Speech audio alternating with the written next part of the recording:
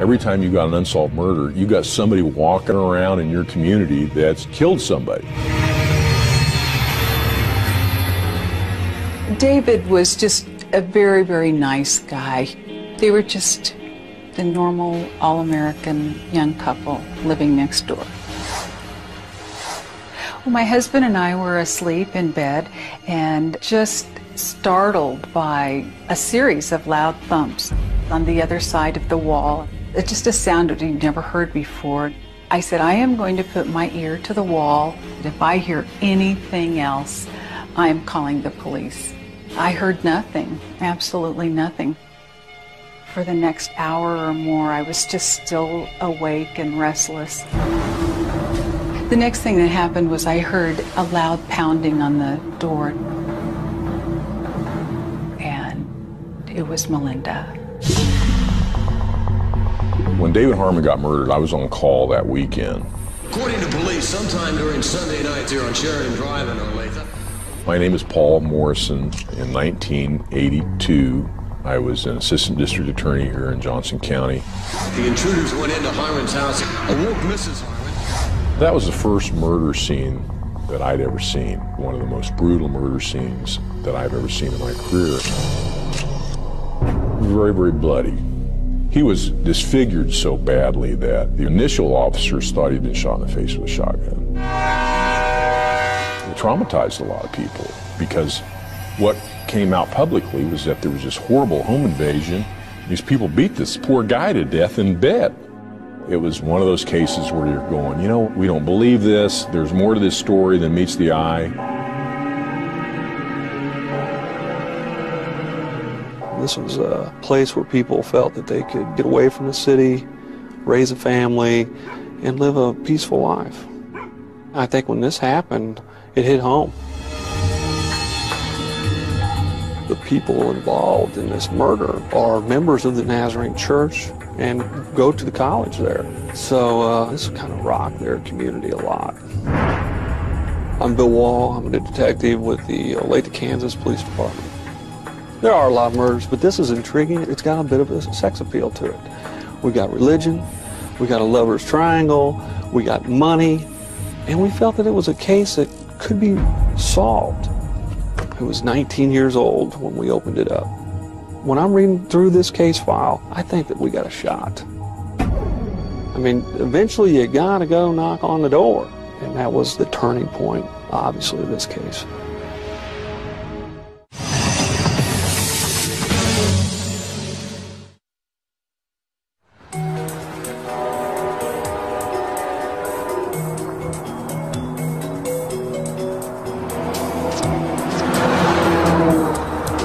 Today, Olathe, Kansas is a major crossroads. A fast growing suburb of Kansas City.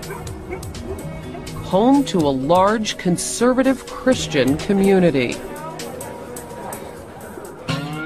But back in 1982, it was just a dot on the map. In 1982, this was a community where you didn't have to lock your doors, basically. I know that's a cliche, but uh, there was not a lot of uh, danger. Andy Hoffman was a reporter for Olathe's Daily News. The people that lived here were God fearing, they believed in the Bible, and when this horrendous murder happened, it changed the landscape of the community.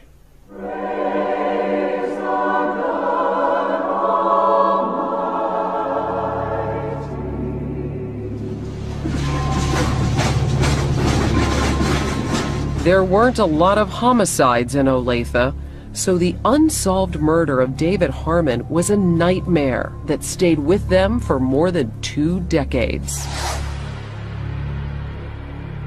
First time I heard about that case was maybe in the oh, early 90s. Bill Wall was a young patrol officer at the time. It was always kind of a, a case that had never been solved, and it was kind of a legend throughout the department.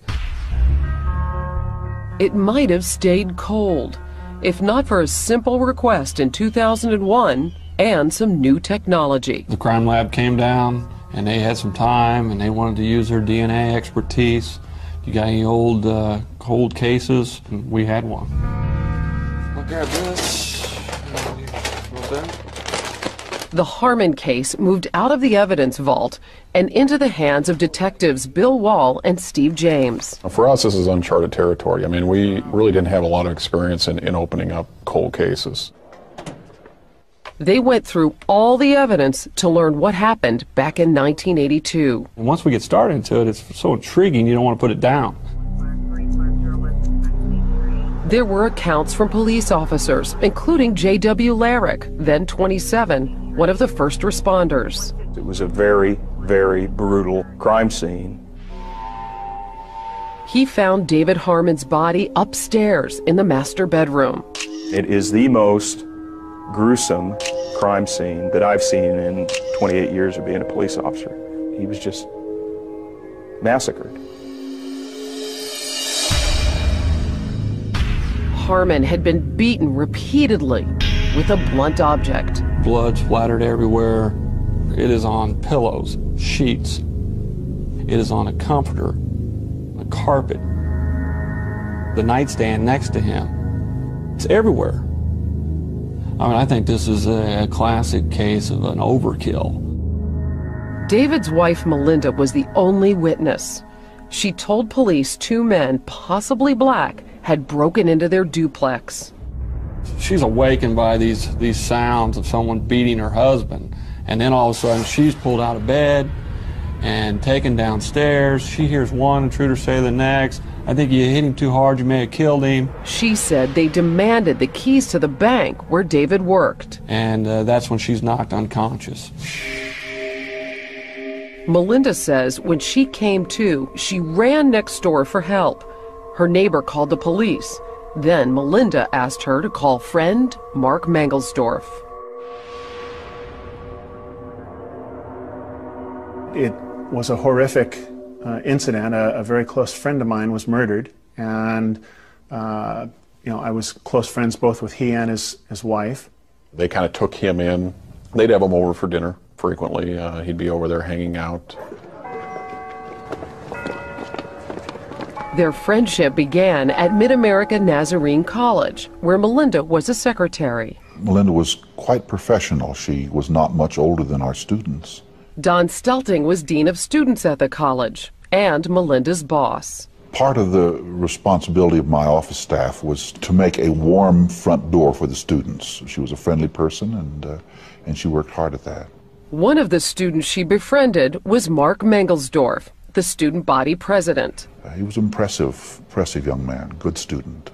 Melinda introduced Mark to her husband, David. I mean, David was in many ways like a, a big brother to me. Uh, you know, he took me under his wing. They shared a passion for sports, business, and their church. As word of David's murder spread, it stunned Olathe's Nazarene community. I remember when the phone call came, how unreal it was. Pam and Don Stelting were among the first to hear the news. I don't think we could even talk. It was such uh, devastating news. It shook us all very deeply because here was someone that we thought was just a perfect example of what uh, church and the college stood for, and he was gone. His life snuffed out. His friends at the patron state bank were shocked. Why? Why would this happen? Why David? Joy Hempy and Hazel Hendricks. We didn't have murders in Olathe. And then to have it happen to a person that you worked with every day, it was very scary.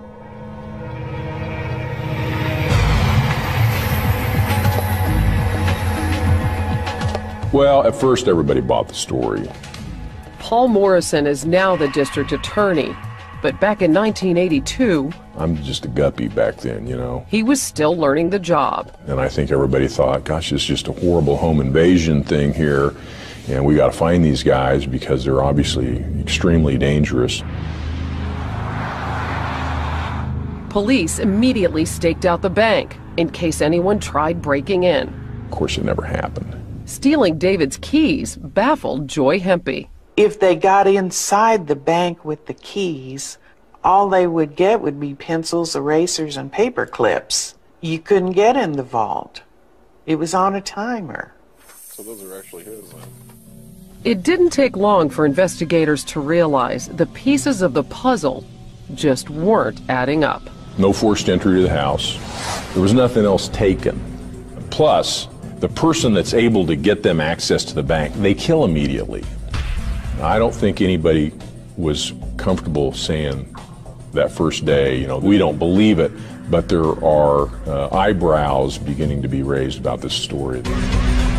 As doubts grew about Melinda Harmon's story, the focus of the investigation shifted. I'm sure some of those detectives back then were thinking, hey, this is not right. There's something more here. Did they believe that Melinda Harmon was involved in her husband's murder? And they suspected she had help. Some questions came up, and in particular, a question about uh, this person, Mark Mangelsdorf.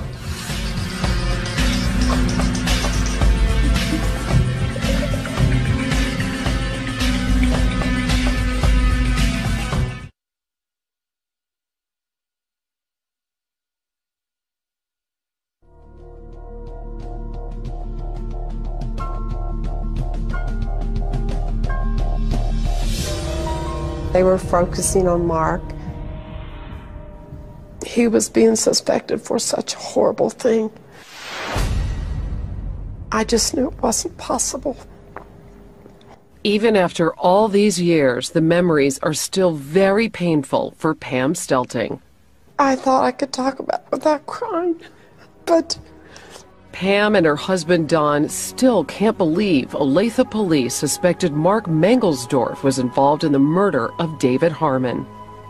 It, it seemed to be uh, an indication of very bad judgment on the part of the, of the police.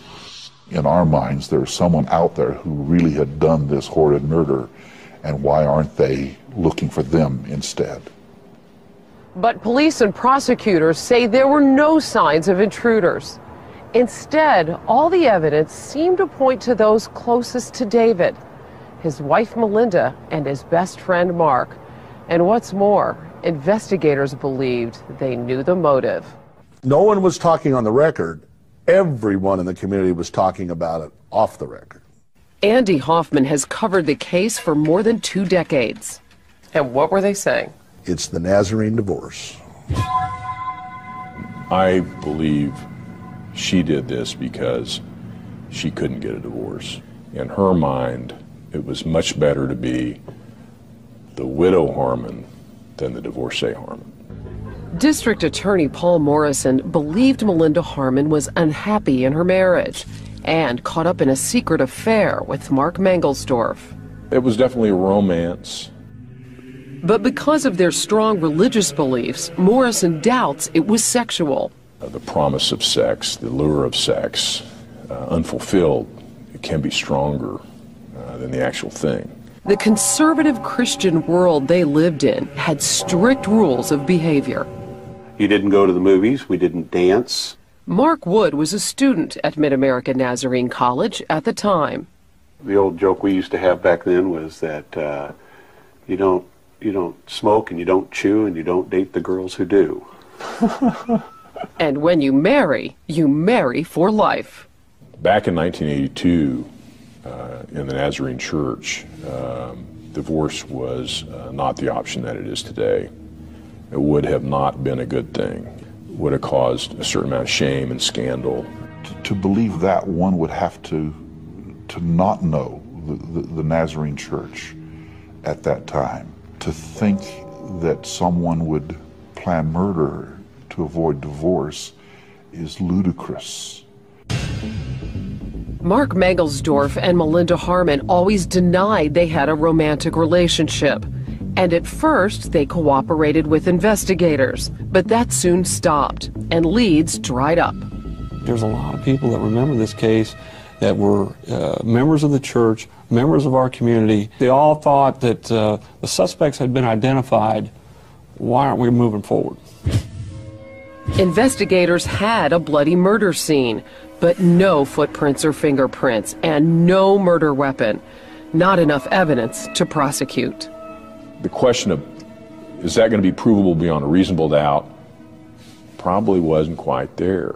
With no charges against them, Mangelsdorf and Harmon both left Olathe. Melinda Harmon headed back home to Ohio with her parents. Mark Mangelsdorf went off to Harvard Business School and became a successful corporate executive. Definitely went on with my life, and uh, it, it's not something that you know I really dwelled on or, or focused on a lot. Today, he and his second wife, Christina, live in a million dollar home in Pelham, just outside New York City. He's the father of four, with one more on the way. Recently, the Mangelsdorfs sat down with 48 Hours for their only television interview. When's the first time that you heard about this? Um, it was fairly shortly after we started dating, honestly. My first reaction was, this is the most ridiculous thing I've ever heard of. There's no way that he could have done this. And, and, you know, he didn't need to give me any of the facts of the case or any assurances that he hadn't to know that, you know, no. I mean, it's not in his personality. Uh, the fact that the police considered me as a suspect uh, in the course of their investigation was hurtful and, uh, you know, certainly leaves an impression on you. Did you kill David Harmon? I did not kill David Harmon. And Mangelsdorf doesn't believe Melinda Harmon was involved either. Melinda was my good friend, and I choose to believe that uh, that, that was not in her character. Back in Olathe, the unsolved Harmon murder had been shelved for almost two decades, but never forgotten. They didn't have it on the front burner, but they did not forget about it. Um, the community wouldn't let them forget about it. When you read it, it's kind of a no-brainer. The suspects are identified. These people did it, and now we got to prove it. As detectives Bill Wall and Steve James began going over the 19-year-old evidence, they found it odd that blood spatter was all across Melinda Harmon's pillowcase. If she's laying in bed, her head should be here, right? Right. Should be a void. There should be a spot Where there's no blood? where there's no blood. With so much blood on the pillowcase, Wall and James were surprised how little blood was on Melinda and her nightgown. You would think you would see at least some blood up in this general area up here toward the top of the nightgown. The only blood was at the bottom of the gown. She's standing away from the bed, and it's cast off to her. They also had doubts about Melinda's story of being knocked out by intruders. If she truly was knocked unconscious for that period of time, she wouldn't have remembered anything. Evidence was mounting, but they still didn't have a case. They needed to re interview the suspects. In December 2001, detectives Wall and James showed up at Melinda's home in Ohio. This is our shot. We wanted to catch her cold. Are you nervous? Yeah, I'm nervous. What happens? Knock on the door. She answers. And what happened next would forever change the course of this case. Had she not let you in, where would we be today? We would not be sitting here today.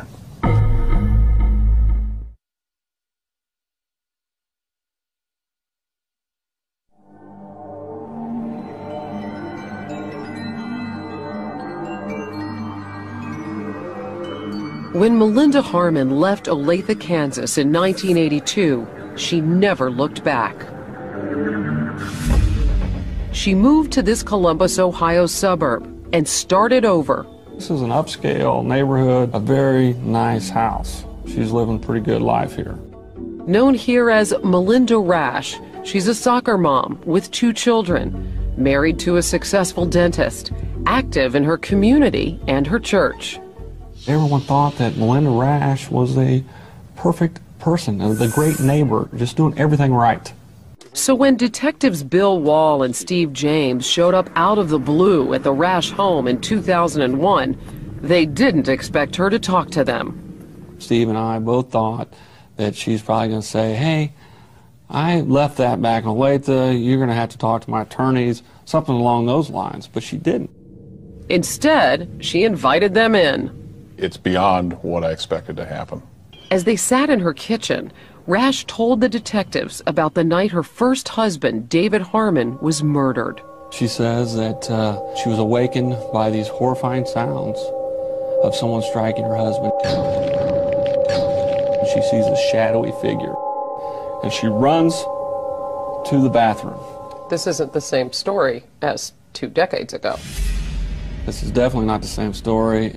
What happened to the two black guys that broke in demanding bank keys? What happened to, I think you hit him too hard, you may have killed him? None of that. She didn't remember the lie she told. For 19 years, detectives had waited for this kind of break. I accused her. I said, I know you, you killed him. Either you killed him or he did. What did she say? Well, I assure you, it wasn't me. And Melinda didn't stop there. Instead of ending the conversation or calling her lawyer, she kept talking. She wanted to please us. She didn't want her neighbors to be talked to about this. I don't think she ever shared with anybody about uh, what happened in 1982. She just wanted you to go away. Absolutely. And she thought she could manipulate us to get us to go away. But they didn't go away. In fact, after three hours, Raisch agreed to continue talking at the sheriff's department. Only now the interrogation would be videotaped. Because he'd established a rapport with Raisch, Detective Bill Wall conducted the interview. Been talked for three or four hours out at your house. I'm sorry I should have offered you a drink at the house. Sorry. I'm usually a very good hostess. Investigators had always believed Melinda Harmon Raisch and Mark Mangelsdorf conspired to murder David Harmon so they could be together. Now Bill Wall needed details of their romance to prove motive. She said they were friends at first, were friends. Well, later on, as their relationship blossomed, uh, she said that there, there became an emotional bond between the two of them. You shared innermost, deepest feelings. In a way that is inappropriate. Right. You should have been sharing with your husband, probably. Right. She said that uh, her feelings were inappropriate and that her husband, David, would definitely not approve. But according to Raisch, Mangelsdorf wanted more. Did he ever come out and say, I love you, I want to have sex with you? I would say so. He said that? I would say so. She told me that she got the impression he wanted her to get a divorce. There were innuendos made. Okay. Innuendos made about what? About had life been different. He didn't like the fact you were married. Right. With their romance established, Bill Wall now needed Raisch to connect Mark Mangelsdorf to the murder. If you did not kill him, Mm-hmm. you know who did. And we've been down that road. And now you're trying to lead me to believe, Well, I know in my heart. you know in your heart what? That Mark did it? Mhm. In my heart, I know that. She told Wall she didn't see Mangelsdorf that night, but sensed his presence. Where was the presence coming from? The stairs. Why is she saying she felt Mangelsdorf's presence rather than I saw him bludgeon my husband? I, I just don't think she wanted to go there yet. Uh, she, she knew if she said that, then uh, that would implicate her further. So she's holding back. Absolutely. Raisch wanted to know the consequences before giving up any more information. I don't know where I stand. So there is a little more here. There's a we- little more. But we just want to get a little deal there before we go forward. Yeah, because I don't. You need to know what consequences. Yeah, I need to know where I stand. Bill Wall called District Attorney Paul Morrison in Olathe I, like everybody else, was shocked that she talked to him. and told him Raisch wanted to discuss a deal. I remember telling Wall that I wasn't going to buy a pig in a poke because we didn't know exactly what she had to offer. That, in my opinion, she had already made some serious admissions. So let's not make any deals today that we might regret later. After almost two decades of frustration, Morrison finally had a toehold. But it would take two more years of poring over every piece of evidence to make a case. You've got no statute of limitations on a murder case, so we had the luxury of making sure that we got our ducks all lined up as straight as we could before we uh, went into battle. In 2003, with those ducks lined up, Melinda Harmon Raisch was finally arrested and charged with her husband's murder. The news stunned Mark Mangelsdorf. It did surprise me. It caught me off guard. I thought that this thing had potentially run its course, and it, of course, had not. Oh,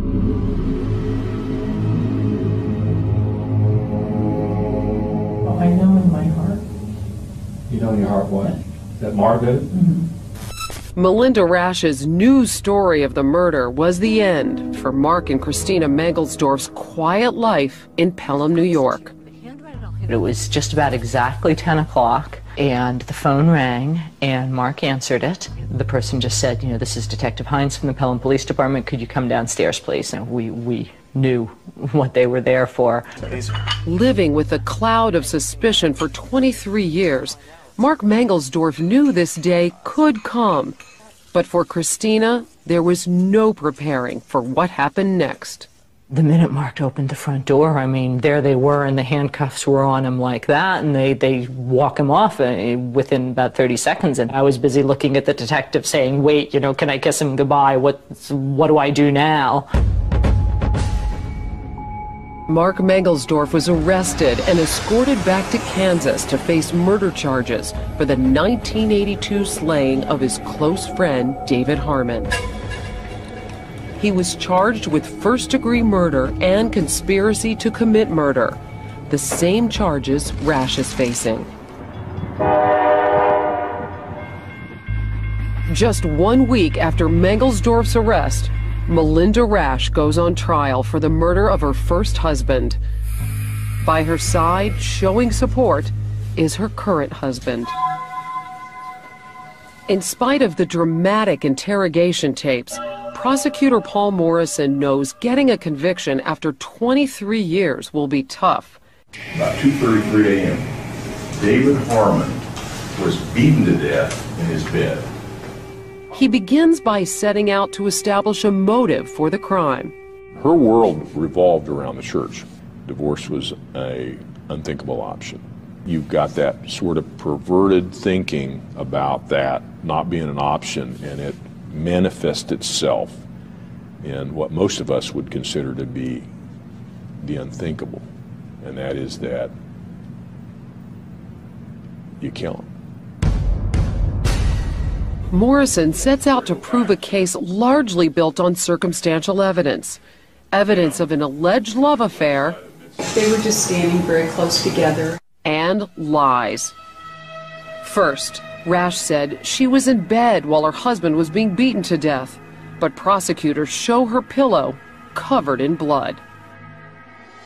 Then there is her claim she was knocked out for more than an hour. That didn't fit at all, and in fact, she didn't have any real injuries other than a tiny bruise on her cheek. Prosecutors begin unraveling Raisch's story of what happened that night, weaving a different story. There was about 20 cards and letters from uh, Melinda Harmon to Mark Mangelsdorf. Prosecutors produce a stack of cards and letters found in Mark Mangelsdorf's apartment, suggesting signs of an intimate relationship. These were just signed either Melinda or Love Melinda or I love you, Melinda, that type of thing. As the evidence mounts, it is the 2001 police videotape that cements the case against her and Mark Mangelsdorf. You had to know that was him. In my heart, I knew. As prosecutors slowly built their case, Raisch's defense team knew they had to confront the allegations of an affair and murder head on to do that. They turned to the person at the center of this case to testify. But it was not their client, Melinda Raisch, they called to the stand. It was Mark Mangelsdorf.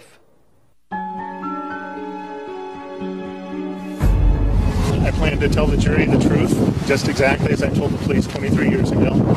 And for the first time in 23 years, Mark Mangelsdorf and Melinda Raisch are together again. This time, the only thing they are sharing is the charge of murder. Do you swear or affirm that the testimony you're about to give will be the truth, the whole truth, and nothing but the truth? Yes, I do. Please have a seat. Thank you. Mangelsdorf's testimony is crucial for Raisch's defense, and ultimately his own. The defense wants to show Mangelsdorf is not capable of murder, and that he and Raisch couldn't have conspired to commit such a crime.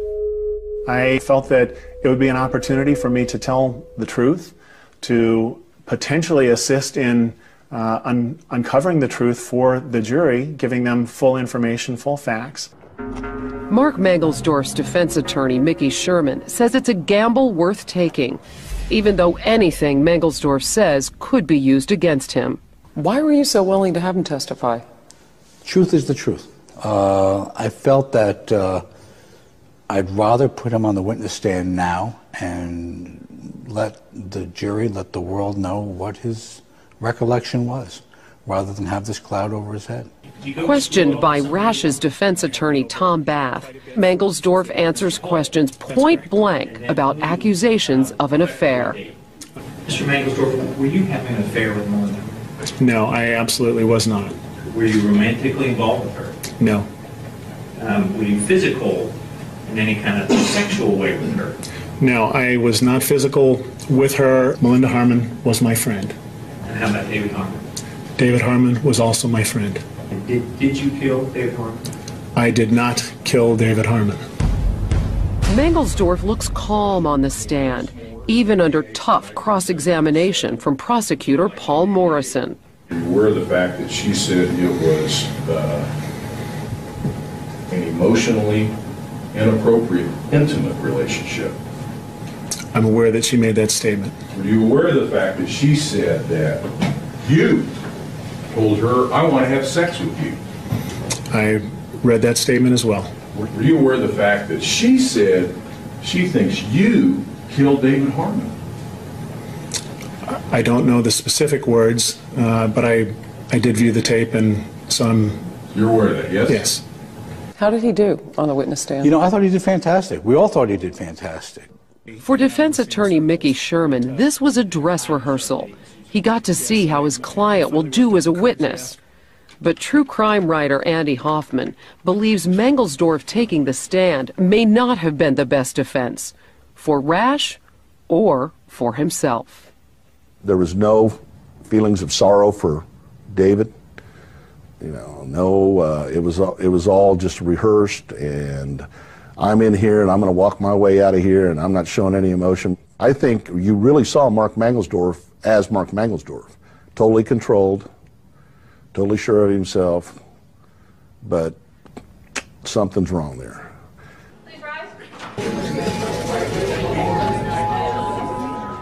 Melinda Raisch never took the stand or spoke publicly about the murder of her husband. After nearly three weeks of testimony and over 60 witnesses, Raisch's trial comes to a close. After two days, the jury reaches a verdict. The court will read the verdict of the jury. On count one, we, the jury, find the defendant guilty of murder. On count two, we, the jury, find the defendant guilty of conspiracy to commit murder. Did Mark help or hurt her on the stand? He hurt her. If they believed him, they wouldn't have convicted her. Out on bail, Mark Mangelsdorf was at home with his wife Christina when they learned of Raisch's fate. When you saw the word guilty, what was your reaction? Uh, I think surprised and disappointed. Um, You and- thought she was innocent? Yes. Christina believes the outcome will be different for her husband. It wasn't like we looked at this and said, you know, oh my gosh, you know, the same thing is going to happen to Mark. I mean, there's still a, a confidence that it's a very different case and that, that Mark will ultimately be found innocent. When they see the evidence as it's presented, we think they'll come to the the, the same conclusion that we know is, is the reality that, that I'm innocent. I believe in Mark, and I believe that a jury will believe in Mark, both in his innocence and his character. Defense attorney Mickey Sherman is on the offensive. What's your best evidence? Mark Mangelsdorf getting on the stand and telling the story, and the lack of such a story on the part of the state. Sherman is determined to disprove what the jury in Raisch's trial believed that she and Mark Mangelsdorf conspired to kill David Harmon because of a budding love affair. There was no great simmering relationship there where they were just brooding and dying to have sex, and they would have killed anybody to make that happen. How do you get a jury to not believe that or not buy into that? You just present it rationally. Would you commit such an unspeakable crime simply to consummate a sexual relationship with someone? I don't think so. While Sherman makes his plans for Mangelsdorf's defense, he's unaware Melinda Raisch is making plans of her own. You begin to think about your children, I think. You begin to think about your future. Writer Andy Hoffman. And you begin to think, oh my God, I'm convicted and I'm facing life in prison. What can I do? With few choices, Raisch makes a stunning move and turns to prosecutor Paul Morrison, looking to make a deal. In exchange for a lighter sentence, she says she'll finally tell the truth of what happened that night her husband was brutally murdered. Melinda Raisch admits for the first time she took part in the murder of her husband, David Harmon. And she says she did it with Mark Mangelsdorf's help. It sounds like a big break for the prosecution, but it could be a bigger break for the defense. I think it's going to be great fodder for the defense. She told a lie in 82. She told half truths in 2001. She was convicted in 2005. And now, facing life in prison, she's going to come clean and tell the truth. Well, do you believe her? Sir, you'll step up to the court reporter to be sworn, please. Hoffman believes Mangelsdorf's case could swing either way, hinging on who will make a better witness. It's going to come down to this. If they go to trial, who do you believe, Mark or Melinda? How concerned are you about her testimony? Well, I, I could put on a big act and say it's no big deal because she's lied before, but of course I'm concerned. The usually confident Mickey Sherman knows this could be trouble. I mean, this is someone who is obviously going to implicate him, and her credibility, her believability is going to make a great difference in whether or not Mark Mangelsdorf is, uh, is going to be convicted or acquitted. So I'm not uh, sloughing it off, but by the same token, um, she's got a lot of baggage. Without Melinda's testimony, what evidence ties Mark to the crime? Not much. Not much at all. There we go. The stakes are high. If convicted, Mangelsdorf, now a father of five, could spend the rest of his life in prison.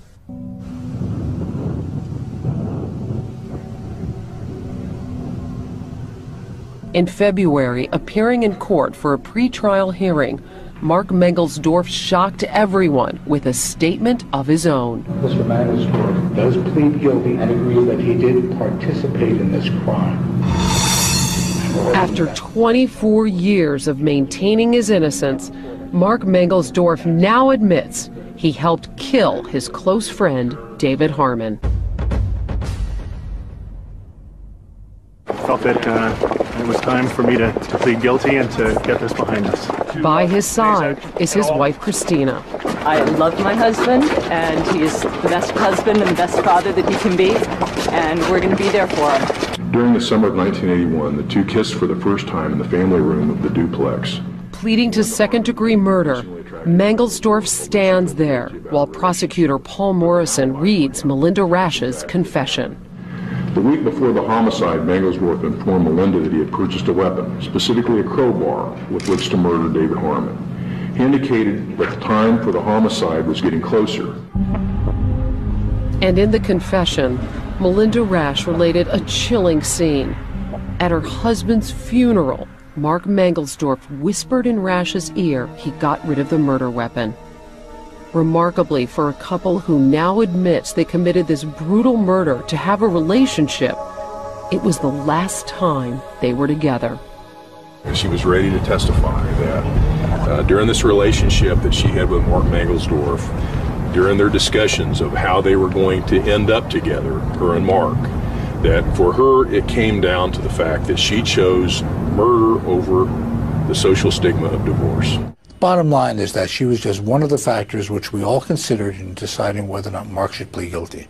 Mark finally made the call himself. He wanted to get on with his life. He saw the possibilities of conviction, he saw the possibilities of acquittal, and elected to plead guilty. For the horrific murder of his best friend, Mark Mangelsdorf will likely be sentenced to 10 to 20 years in prison. But he's eligible for parole in just five years. The same deal Melinda Raisch is getting. Is this justice for David Harmon? They did a terrible thing many, many, many years ago when they were both just kids.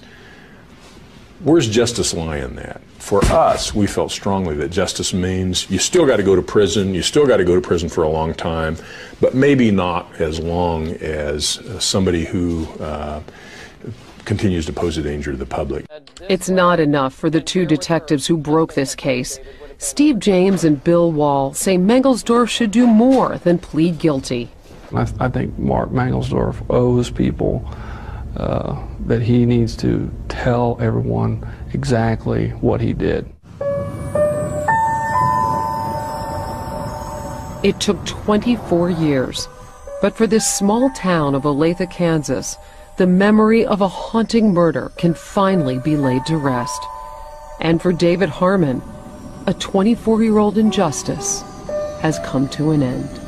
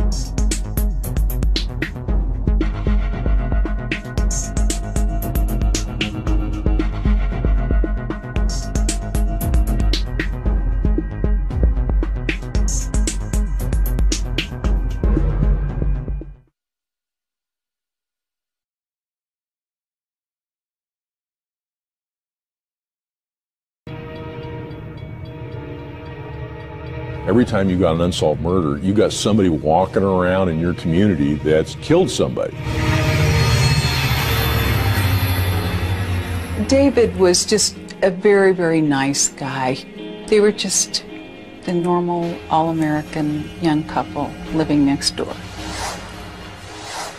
Well, my husband and I were asleep in bed and just startled by a series of loud thumps on the other side of the wall. It's just a sound that we'd never heard before. I said, I am going to put my ear to the wall. If I hear anything else, I am calling the police. I heard nothing, absolutely nothing. For the next hour or more, I was just still awake and restless. The next thing that happened was I heard a loud pounding on the door. And it was Melinda. When David Harmon got murdered, I was on call that weekend. According to police, sometime during Sunday night here on Sheridan Drive in Olathe. My name is Paul Morrison. In 1982, I was an assistant district attorney here in Johnson County. The intruders went into Harmon's house, and awoke Mrs. Harmon. That was the first murder scene that I'd ever seen, one of the most brutal murder scenes that I've ever seen in my career. Very, very bloody. He was disfigured so badly that the initial officers thought he'd been shot in the face with a shotgun. It traumatized a lot of people because what came out publicly was that there was this horrible home invasion. These people beat this poor guy to death in bed. It was one of those cases where you're going, you know, we don't believe this. There's more to this story than meets the eye. This was a place where people felt that they could get away from the city, raise a family, and live a peaceful life. I think when this happened, it hit home. The people involved in this murder are members of the Nazarene Church and go to the college there. So uh, this kind of rocked their community a lot. I'm Bill Wall. I'm a detective with the Olathe, Kansas Police Department. There are a lot of murders, but this is intriguing. It's got a bit of a sex appeal to it. We got religion, we got a lover's triangle, we got money, and we felt that it was a case that could be solved. I was 19 years old when we opened it up. When I'm reading through this case file, I think that we got a shot. I mean, eventually you gotta go knock on the door. And that was the turning point, obviously, of this case.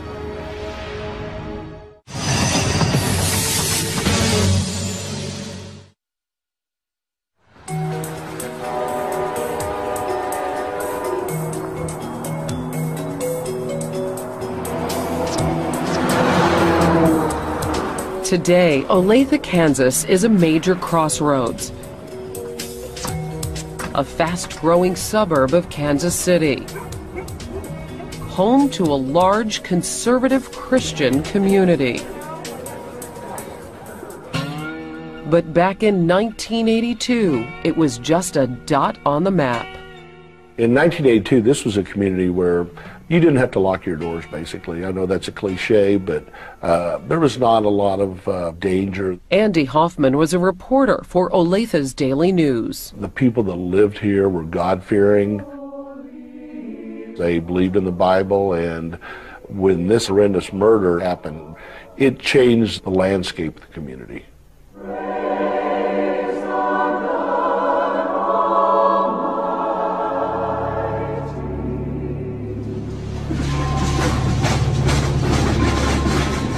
There weren't a lot of homicides in Olathe, so the unsolved murder of David Harmon was a nightmare that stayed with them for more than two decades.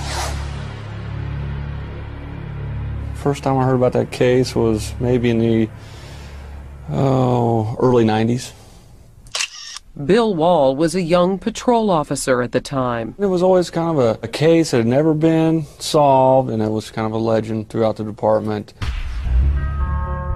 It might have stayed cold, if not for a simple request in 2001 and some new technology. The crime lab came down and they had some time and they wanted to use their DNA expertise. You got any old uh, cold cases? We had one. I'll grab this. What's that? The Harmon case moved out of the evidence vault and into the hands of detectives Bill Wall and Steve James. For us, this is uncharted territory. I mean, we really didn't have a lot of experience in, in opening up cold cases. They went through all the evidence to learn what happened back in 1982. And once we get started into it, it's so intriguing you don't want to put it down. There were accounts from police officers, including J.W. Larrick, then 27, one of the first responders. It was a very, very brutal crime scene. He found David Harmon's body upstairs in the master bedroom. It is the most gruesome crime scene that I've seen in 28 years of being a police officer. He was just massacred. Harmon had been beaten repeatedly with a blunt object. Blood splattered everywhere. It is on pillows, sheets. It is on a comforter, a carpet, the nightstand next to him. It's everywhere. I mean, I think this is a, classic case of an overkill. David's wife, Melinda, was the only witness. She told police two men, possibly black, had broken into their duplex. She's awakened by these, these sounds of someone beating her husband. And then all of a sudden, she's pulled out of bed and taken downstairs. She hears one intruder say the next, I think you hit him too hard, you may have killed him. She said they demanded the keys to the bank where David worked. And uh, that's when she's knocked unconscious. Melinda says when she came to, she ran next door for help. Her neighbor called the police. Then Melinda asked her to call friend Mark Mangelsdorf. It was a horrific uh, incident. A, a, very close friend of mine was murdered, and uh, you know I was close friends both with he and his his wife. They kind of took him in. They'd have him over for dinner frequently. Uh, he'd be over there hanging out. Their friendship began at Mid America Nazarene College, where Melinda was a secretary. Melinda was quite professional. She was not much older than our students. Don Stelting was Dean of Students at the college and Melinda's boss. Part of the responsibility of my office staff was to make a warm front door for the students. She was a friendly person and, uh, and she worked hard at that. One of the students she befriended was Mark Mangelsdorf, the student body president. Uh, he was an impressive, impressive young man, good student. Melinda introduced Mark to her husband, David. I mean, David was in many ways like a, a big brother to me. Uh, you know, he took me under his wing. They shared a passion for sports, business, and their church. As word of David's murder spread, it stunned Olathe's Nazarene community. I remember when the phone call came, how unreal it was. Pam and Don Stelting were among the first to hear the news. I don't think we could even talk. It was such uh, devastating news. It shook us all very deeply because here was someone that we thought was just a perfect example of what uh, church and the college stood for, and he was gone, his life snuffed out. His friends at the Patron State Bank were shocked. Why? Why would this happen? Why David? Joy Hempy and Hazel Hendricks. We didn't have murders in Olathe. And then to have it happen to a person that you worked with every day, it was very scary.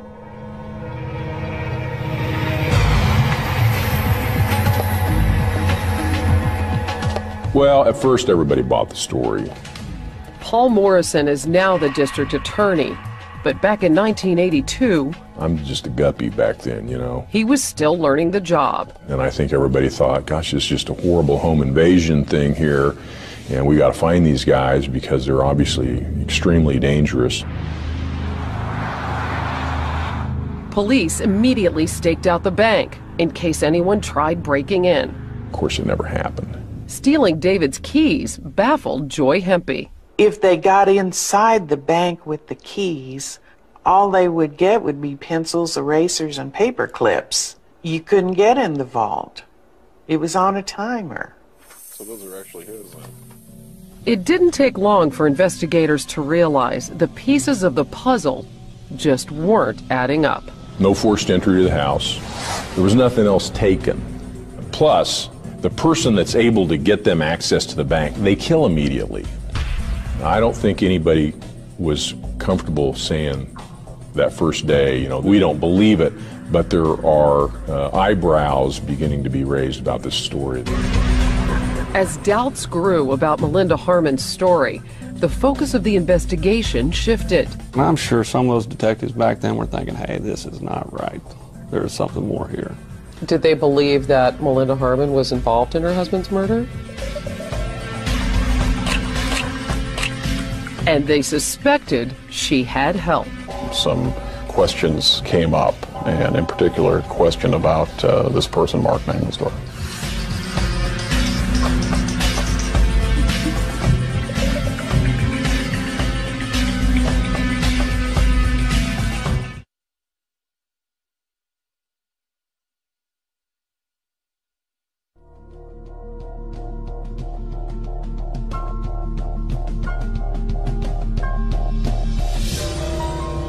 Focusing on Mark.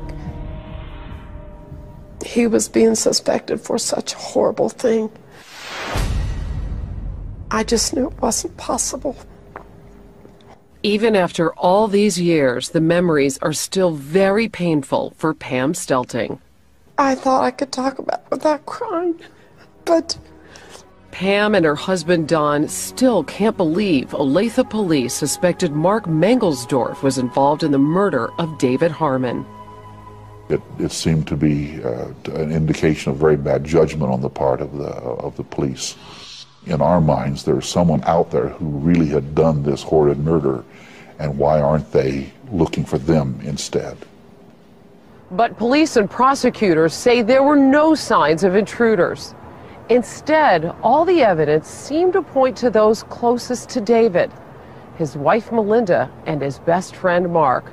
And what's more, investigators believed they knew the motive. No one was talking on the record. Everyone in the community was talking about it off the record.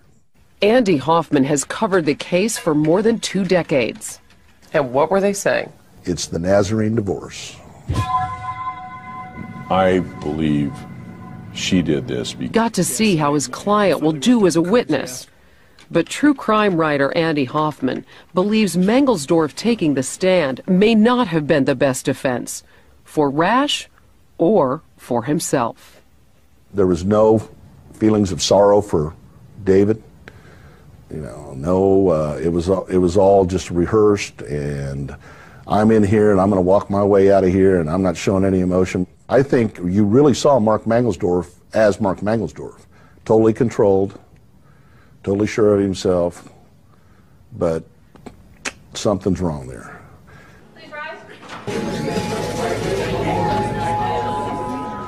Melinda Raisch never took the stand or spoke publicly about the murder of her husband. After nearly three weeks of testimony and over 60 witnesses, Raisch's trial comes to a close.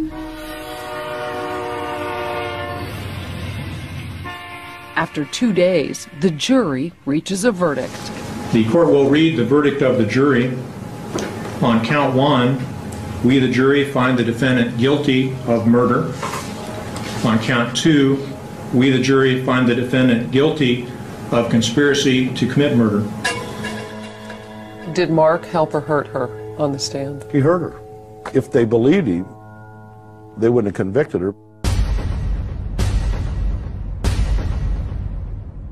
Out on bail, Mark Mangelsdorf was at home with his wife Christina when they learned of Raisch's fate. When you saw the word guilty, what was your reaction? Uh, I think surprised and disappointed. Um, You and- thought she was innocent? Yes.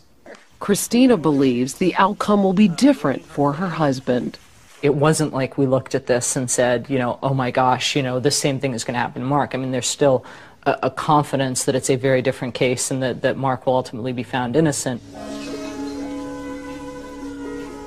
When they see the evidence as it's presented, we think they'll come to the, the, the same conclusion that we know is, is the reality that, that I'm innocent. I believe in Mark, and I believe that a jury will believe in Mark, both in his innocence and his character. Defense attorney Mickey Sherman is on the offensive.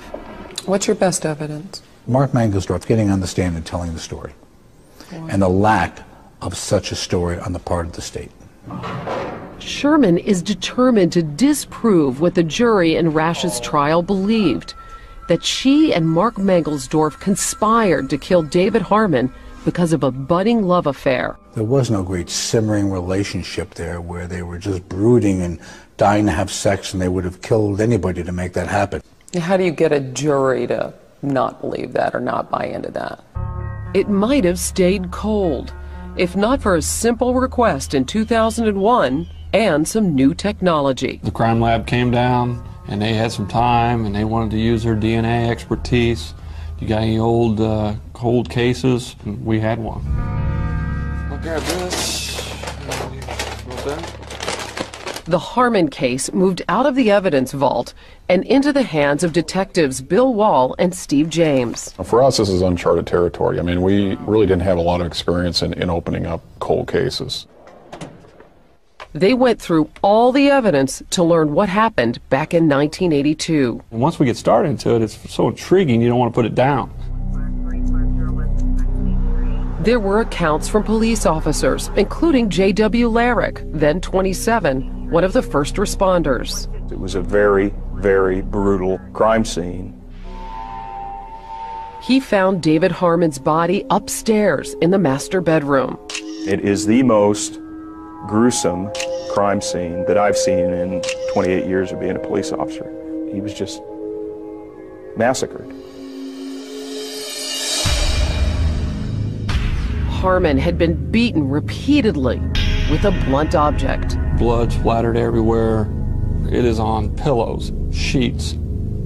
It is on a comforter, a carpet, the nightstand next to him. It's everywhere. I mean, I think this is a, a classic case of an overkill.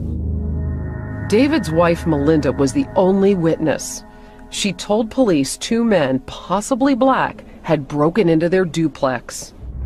She's awakened by these, these sounds of someone beating her husband. And then all of a sudden, she's pulled out of bed and taken downstairs. She hears one intruder say the next. I think you hit him too hard, you may have killed him. She said they demanded the keys to the bank where David worked. And uh, that's when she's knocked unconscious. Melinda says when she came to, she ran next door for help. Her neighbor called the police. Then Melinda asked her to call friend Mark Mangelsdorf. It was a horrific uh, incident. A, a, very close friend of mine was murdered, and uh, you know I was close friends both with he and his his wife. They kind of took him in. They'd have him over for dinner frequently. Uh, he'd be over there hanging out. Their friendship began at Mid America Nazarene College, where Melinda was a secretary. Melinda was quite professional. She was not much older than our students. Don Stelting was dean of students at the college and Melinda's boss. Part of the responsibility. It was just a dot on the map. In 1982, this was a community where you didn't have to lock your doors, basically. I know that's a cliche, but uh, there was not a lot of uh, danger. Andy Hoffman was a reporter for Olathe's Daily News. The people that lived here were God fearing. They believed in the Bible, and when this horrendous murder happened, it changed the landscape of the community.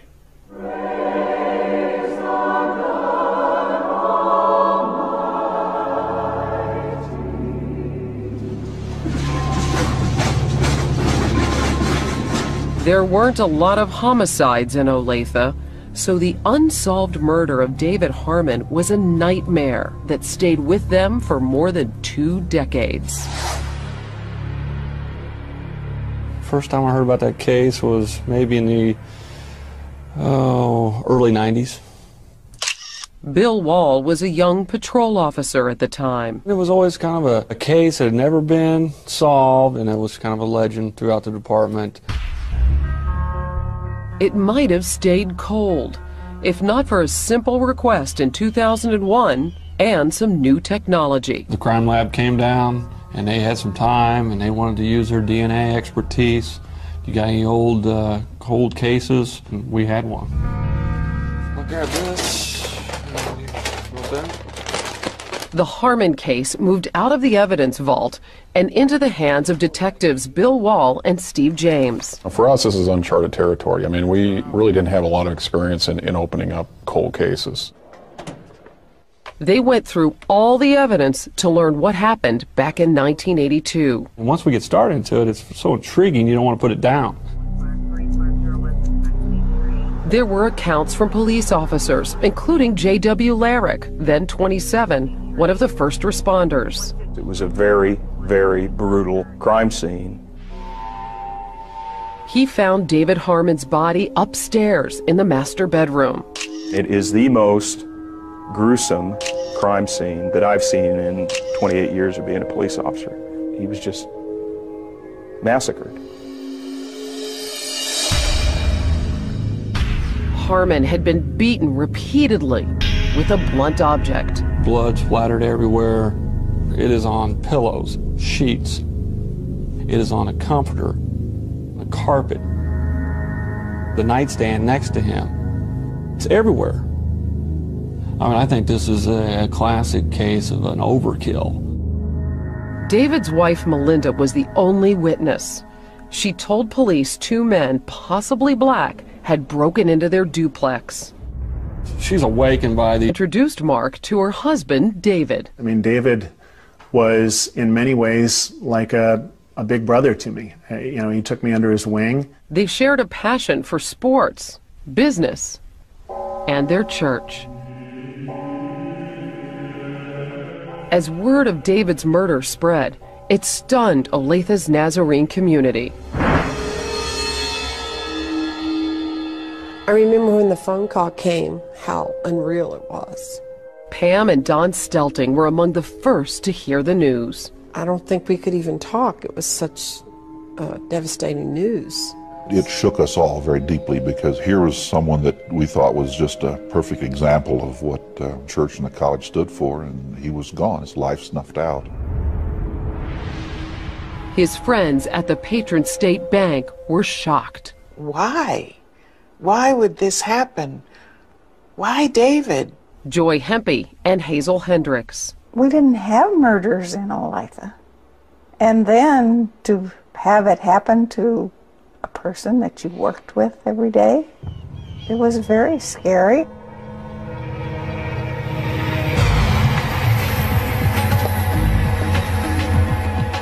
Well, at first everybody bought the story. Paul Morrison is now the district attorney, but back in 1982, I'm just a guppy back then, you know. he was still learning the job. And I think everybody thought, gosh, it's just a horrible home invasion thing here. And we got to find these guys because they're obviously extremely dangerous. Police immediately staked out the bank in case anyone tried breaking in. Of course, it never happened. Stealing David's keys baffled Joy Hempy. If they got inside the bank with the keys, all they would get would be pencils, erasers, and paper clips. You couldn't get in the vault. It was on a timer. So those are actually his then. It didn't take long for investigators to realize the pieces of the puzzle just weren't adding up. No forced entry to the house. There was nothing else taken. Plus, the person that's able to get them access to the bank, they kill immediately. Now, I don't think anybody was comfortable saying that first day, you know, we don't believe it, but there are uh, eyebrows beginning to be raised about this story. As doubts grew about Melinda Harmon's story, the focus of the investigation shifted. I'm sure some of those detectives back then were thinking, hey, this is not right. There's something more here. Did they believe that Melinda Harmon was involved in her husband's murder? And they suspected she had help. Some questions came up, and in particular, And then all of a sudden, she's pulled out of bed and taken downstairs. She hears one intruder say the next. I think you hit him too hard, you may have killed him. She said they demanded the keys to the bank where David worked. And uh, that's when she's knocked unconscious. Melinda says when she came to, she ran next door for help. Her neighbor called the police. Then Melinda asked her to call friend Mark Mangelsdorf. It was a horrific uh, incident. A, a very close friend of mine was murdered, and uh, you know I was close friends both with he and his his wife. they kind of took him in. They'd have him over for dinner frequently. Uh, he'd be over there hanging out. Their friendship began at Mid America Nazarene College, where Melinda was a secretary. Melinda was quite professional. She was not much older than our students. Don Stelting was dean of students at the college and Melinda's boss. Part of the responsibility of my office staff was to make a warm front door for the students. She was a friendly person, and, uh, and she worked hard at that. One of the students she befriended was Mark Mangelsdorf, the student body president. Uh, he was an impressive, impressive young man, good student.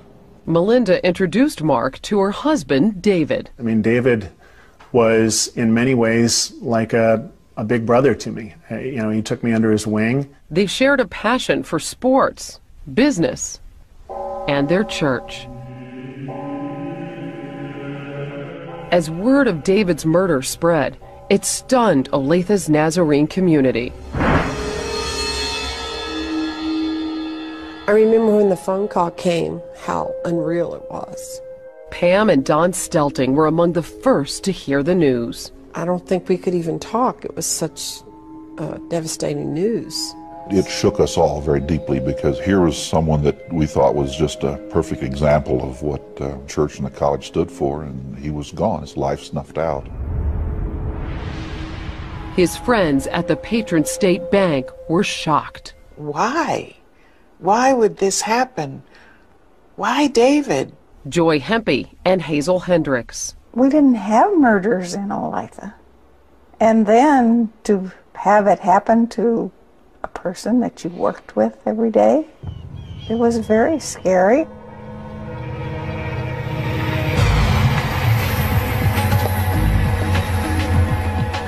Well, at first everybody bought the story.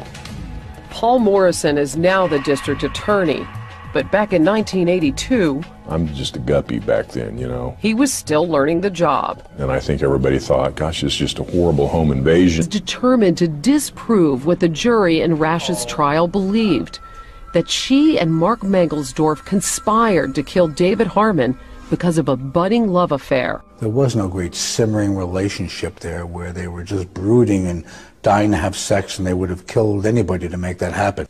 How do you get a jury to not believe that or not buy into that? You just present it rationally. Would you commit such an unspeakable crime simply to consummate a sexual relationship with someone? I don't think so.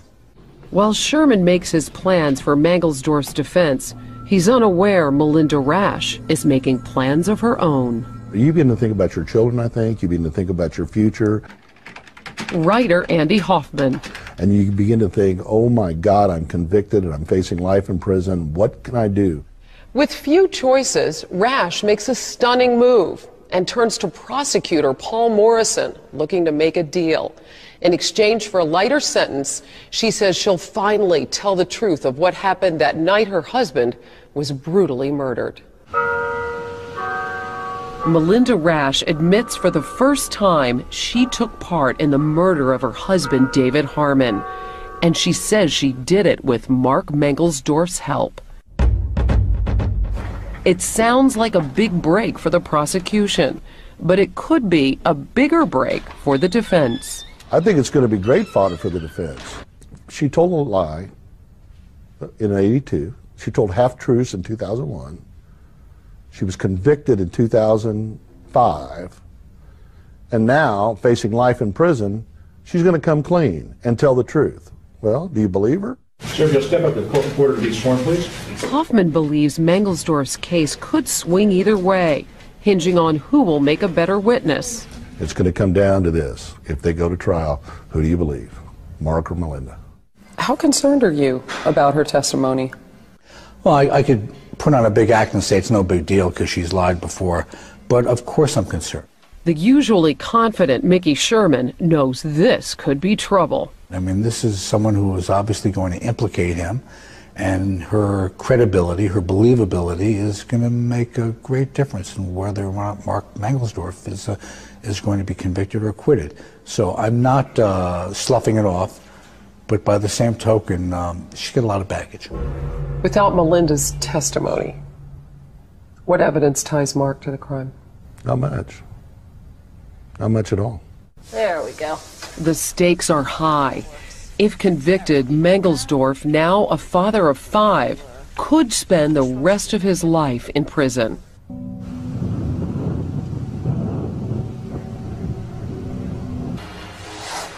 My husband and I were asleep in bed and just startled by a series of loud thumps on the other side of the wall. It's just a sound that we'd never heard before.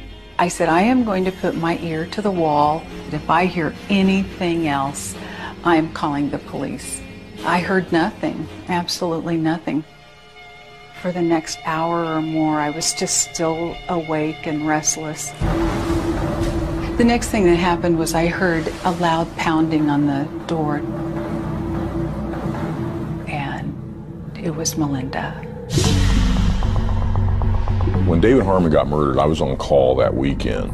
According to police, sometime during Sunday night here on Sheridan Drive in Olathe, My name is Paul Morrison. In 1982, I was an assistant district attorney here in Johnson County.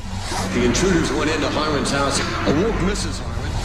That was the first murder scene that I'd ever seen. One of the most brutal murder scenes that I've ever seen in my career. Very, very bloody. He was disfigured so badly that the initial officers thought he'd been shot in the face with a shotgun. It traumatized a lot of people because what came out publicly was that there was this horrible home invasion. These people beat this poor guy to death in bed. It was one of those cases where you're going, you know, we don't believe this. There's more to this story than meets the eye. This was a place where people felt that they could get away from the city, raise a family, and live a peaceful life. I think when this happened, it hit home. The people involved in this murder are members of the Nazarene Church and go to the college there. So uh, this kind of rocked their community a lot. I'm Bill Wall. I'm a detective with the Olathe, Kansas Police Department. There are a lot of murders, but this is intriguing. It's got a bit of a sex appeal to it. We got religion, we got a lover's triangle, we got money, and we felt that it was a case that could be solved. It was 19 years old when we opened it up. When I'm reading through this case file, I think that we got a shot. I mean, eventually you gotta go knock on the door. And that was the turning point, obviously, of this case.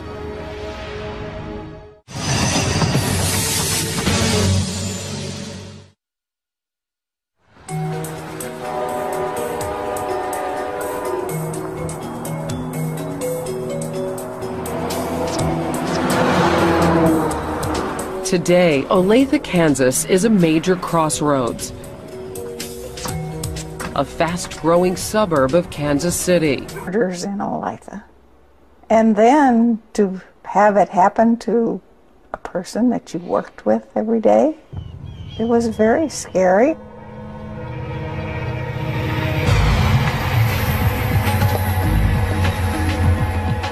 Well, at first everybody bought the story. Paul Morrison is now the district attorney, but back in 1982, I'm just a guppy back then, you know. he was still learning the job. And I think everybody thought, gosh, it's just a horrible home invasion thing here. And we got to find these guys because they're obviously extremely dangerous. Police immediately staked out the bank in case anyone tried breaking in. Of course, it never happened. Stealing David's keys baffled Joy Hempy. If they got inside the bank with the keys, all they would get would be pencils, erasers, and paper clips. You couldn't get in the vault. It was on a timer. So those are actually his then. It didn't take long for investigators to realize the pieces of the puzzle just weren't adding up. No forced entry to the house. There was nothing else taken. Plus, the person that's able to get them access to the bank, they kill immediately. I don't think anybody was comfortable saying that first day, you know, we don't believe it, but there are uh, eyebrows beginning to be raised about this story. As doubts grew about Melinda Harmon's story, the focus of the investigation shifted. I'm sure some of those detectives back then were thinking, hey, this is not right. There's something more here. Did they believe that Melinda Harmon was involved in her husband's murder?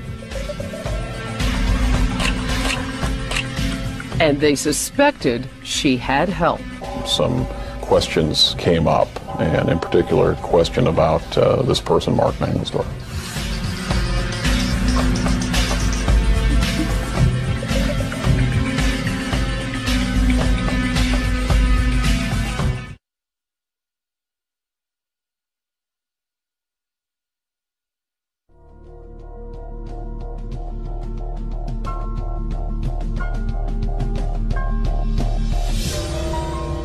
Focusing on Mark. He was being suspected for such a horrible thing. I just knew it wasn't possible. Even after all these years, the memories are still very painful for Pam Stelting. I thought I could talk about it without crying, but Pam and her husband Don still can't believe Olathe police suspected Mark Mangelsdorf was involved in the murder of David Harmon. It, it seemed to be uh, an indication of very bad judgment on the part of the. Yes, and, and you know, he didn't need to give me any of the facts of the case or any assurances that he hadn't to know that, you know, no. I mean, it's not in his personality. Uh, the fact that the police considered me as a suspect uh, in the course of their investigation was hurtful. And uh, you know, certainly leaves an impression on you. Did you kill David Harmon? I did not kill David Harmon. And Mangelsdorf doesn't believe Melinda Harmon was involved either. Melinda was my good friend, and I choose to believe that uh, that, that was not in her character. Back in Olathe, the unsolved Harmon murder had been shelved for almost two decades, but never forgotten. They didn't have it on the front burner, but they did not forget about it. Um, the community wouldn't let them forget about it. When you read it, it's kind of a no-brainer. The suspects are identified. These people did it, and now we got to prove it. As detectives Bill Wall and Steve James began going over the 19-year-old evidence, they found it odd that blood spatter was all across Melinda Harmon's pillowcase. If she's laying in bed, her head should be here, right? Right. Should be a void. There should be a spot Where there's no blood? where there's no blood. With so much blood on the pillowcase, Wall and James were surprised how little blood was on Melinda and her nightgown. You would think you would see at least some blood up in this general area up here toward the top of the nightgown. The only blood was at the bottom of the gown. She's standing away from the bed, and it's cast off to her. They also had doubts about Melinda's story of being knocked out by intruders. If she truly was knocked unconscious for that period of time, she wouldn't have remembered anything. Evidence was mounting, but they still didn't have a case. They needed to re interview the suspects. In December 2001, detectives Wall and James showed up at Melinda's home in Ohio. This is our shot. We wanted to catch her cold. Are you nervous? Yeah, I'm nervous. What happens? Knock on the door. She answers. And what happened next would forever change the course of this case. Had she not let you in, where would we be today? We would not be sitting here today.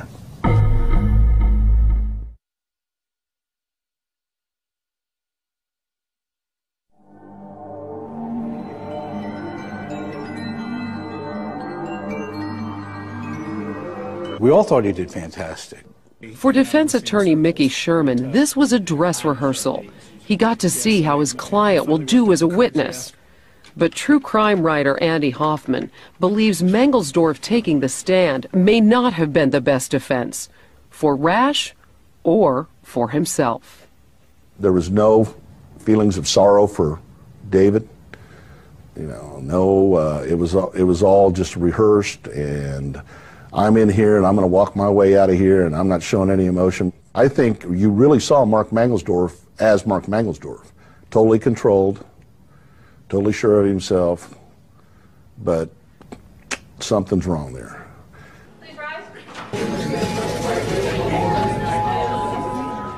Melinda Raisch never took the stand or spoke publicly about the murder of her husband.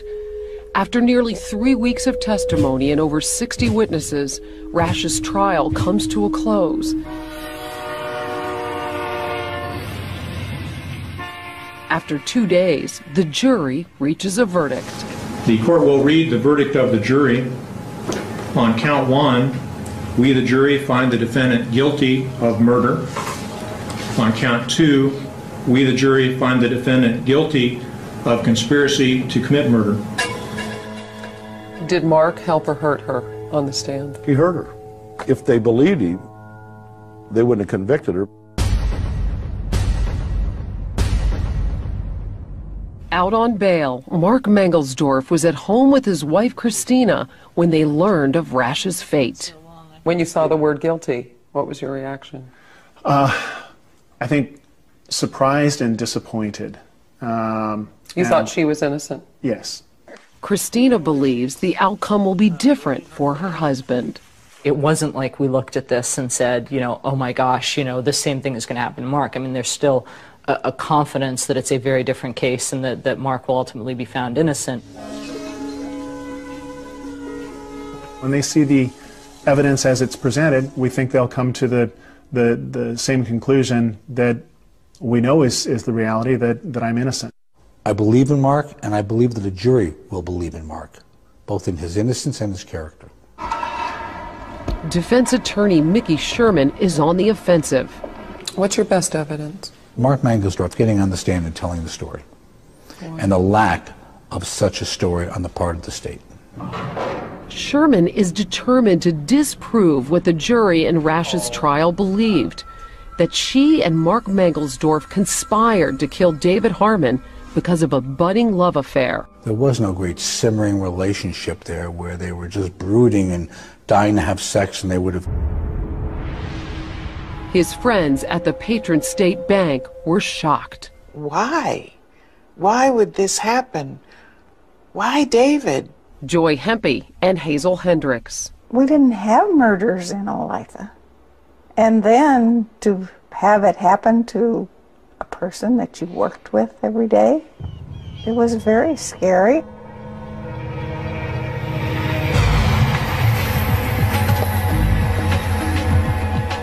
Well, at first everybody bought the story. Paul Morrison is now the district attorney, but back in 1982, I'm just a guppy back then, you know. he was still learning the job. And I think everybody thought, gosh, it's just a horrible home invasion thing here.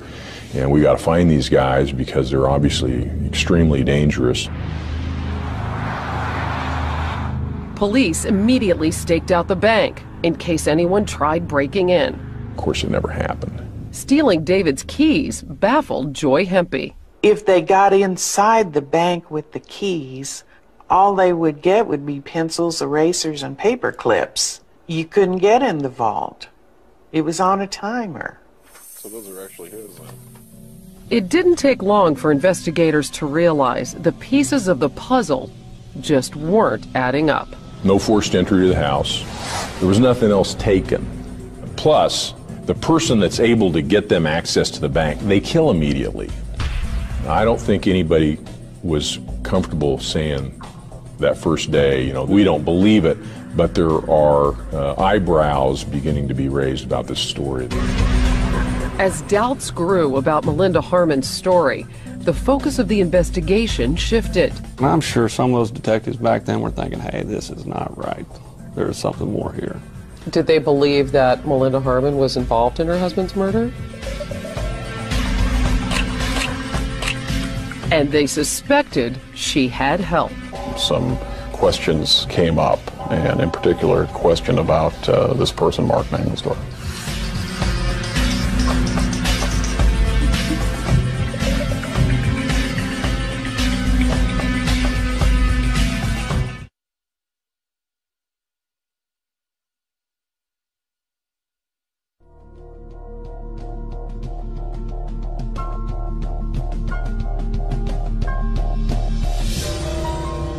Focusing on Mark. He was being suspected for such a horrible thing. I just knew it wasn't possible.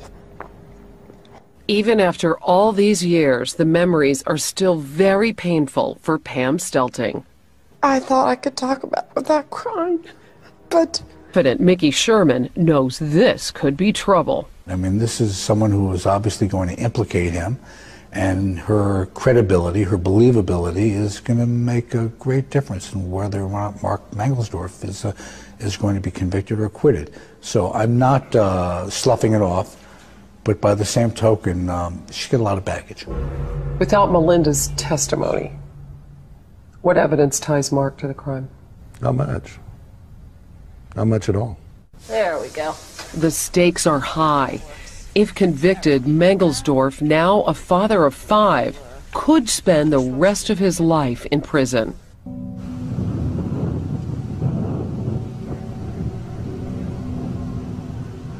In February, appearing in court for a pretrial hearing, Mark Mangelsdorf shocked everyone with a statement of his own. Mr. Mangelsdorf does plead guilty and agrees that he did participate in this crime. After 24 years of maintaining his innocence, Mark Mangelsdorf now admits he helped kill his close friend, David Harmon. I felt that uh, it was time for me to, to plead guilty and to get this behind us. By his side is his wife, Christina. I love my husband, and he is the best husband and the best father that he can be, and we're going to be there for him. During the summer of 1981, the two kissed for the first time in the family room of the duplex. Pleading to second degree murder, Mangelsdorf stands there while prosecutor Paul Morrison reads Melinda Raisch's confession. The week before the homicide, Mangelsdorf informed Melinda that he had purchased a weapon, specifically a crowbar, with which to murder David Harmon. He indicated that the time for the homicide was getting closer. And in the confession, Melinda Raisch related a chilling scene. At her husband's funeral, Mark Mangelsdorf whispered in Raisch's ear he got rid of the murder weapon. Remarkably, for a couple who now admits they committed this brutal murder to have a relationship, it was the last time they were together. She was ready to testify that uh, during this relationship that she had with Mark Mangelsdorf, during their discussions of how they were going to end up together, her and Mark, that for her it came down to the fact that she chose murder over the social stigma of divorce. Bottom line is that she was just one of the factors which we all considered in deciding whether or not Mark should plead guilty. Mark finally made the call himself. He wanted to get on with his life. He saw the possibilities of conviction, he saw the possibilities of acquittal, and elected to plead guilty. For the horrific murder of his best friend, Mark Mangelsdorf will likely be sentenced to Tengelsdorf, now a father of five, could spend the rest of his life in prison.